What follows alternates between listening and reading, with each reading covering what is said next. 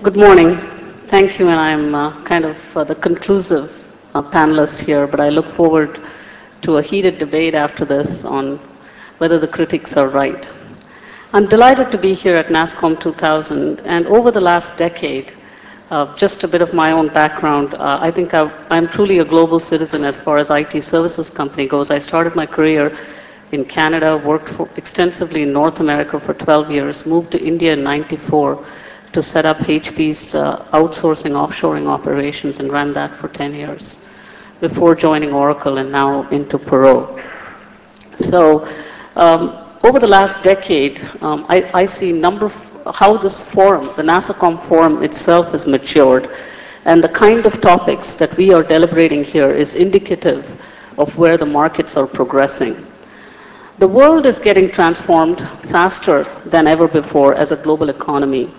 And a greater part of the population is getting engaged in making that transformation happen, regardless of where they are. And yet, you know, globalization has been there for several hundreds of years. However, will the offshoring trend reverse itself? Are the critiques right? I think is a valuable question that we need to deliberate as we uh, look into the future of where this IT services industry is going to head. And all of the various comments made today was uh, extremely relevant uh, to, to the problem at hand. I believe that regardless of which continent, geography, country, city, in fact, at an individual level, um, the trend of globalization is irreversible. It's starting to affect the lives of people, whether they live in Dalian, China, or in Coimbatore, India. As long as you get on the map as a provider on the radar uh, of, of the global economy as a provider of services, you've got to start worrying about your uh, brand, you've got to start worrying about your uh, government support, your talent pool, uh, your business economic models, your infrastructure. And the world is definitely becoming a much uh, smaller place uh, from where we operate from within. Um, at Perot, I think uh, we have been deliberating this uh, quite significantly. Our leadership team, in fact, meets regularly every month just to spend time on this topic and understand our own position within the market uh, as this trend emerges. And what is really exciting to me, having been in this industry for the last 20 years, is is the importance the company places on this and some of the comments that I heard today, even as Bob talked about it. We are a company, a $2.5 billion company with 22,000 employees.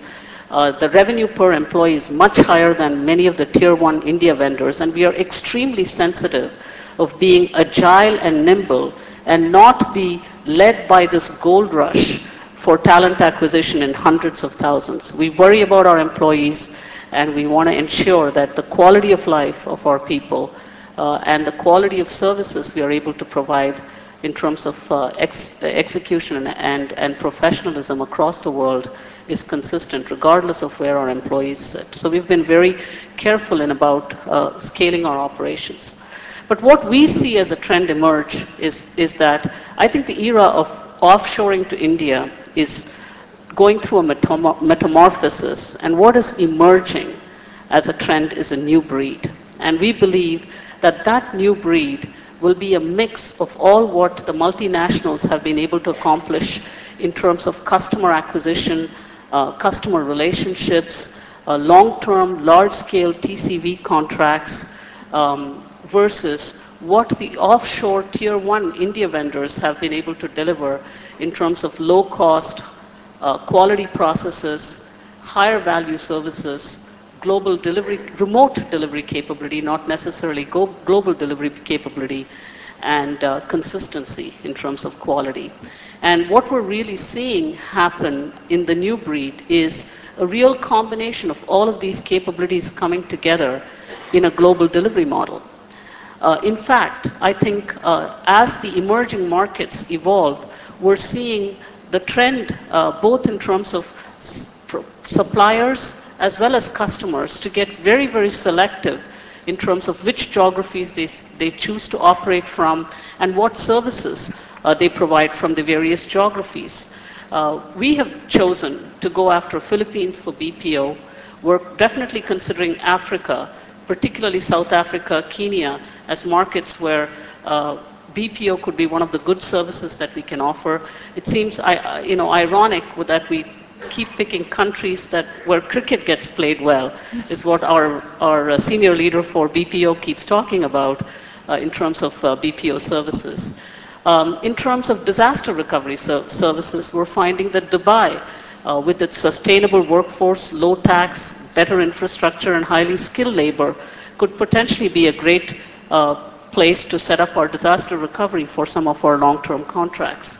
China definitely is a competitive uh, positioning for some of the services for application development that we do uh, in India as the, as the attrition rates and the cost of service uh, in India continues to grow.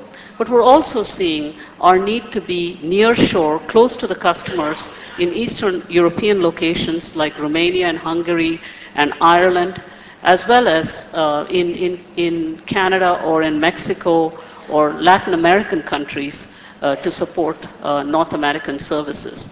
And what, we're, what we are truly building out is this new breed of global delivery models and global delivery services where we can ensure high quality, consistent delivery capability for our customers in a follow the sun model, whether that is IT outsourcing, business process offshoring, or applications and consulting services uh, from these uh, locations. Uh, we're setting up tools and methodologies to be able to deliver that service, and, and I think that that is the emergence of a new breed. From a customer perspective, some of the trends that we are no noticing uh, that are emerging is, first of all, there aren't that many billion dollar large scale outsourcing contracts that are coming to play.